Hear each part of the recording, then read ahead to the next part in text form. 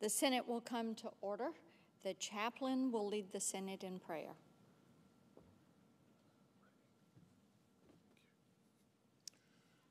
Let us pray. Almighty God, the giver of every good and perfect gift, make us instruments of your love. Today, use our lawmakers as ambassadors of reconciliation.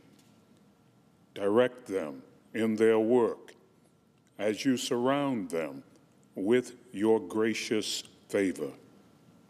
Lord, let all their plans and purposes be guided by your holy will.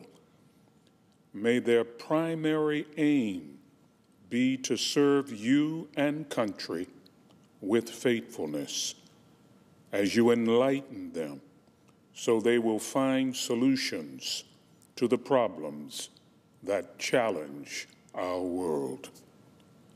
Make us all good stewards, striving to use our influence for your glory. We pray in your gracious name. Amen. Please join me in reciting the Pledge of Allegiance to our flag. I pledge allegiance to the flag of the United States